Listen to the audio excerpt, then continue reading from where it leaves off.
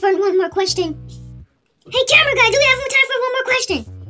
Yeah, we've got time for one more question, but make it quick. I hope it's something important. How many crackers come in a sleeve of crack? How many crackers come in a sleeve of crackers? I mean, I bought four boxes today.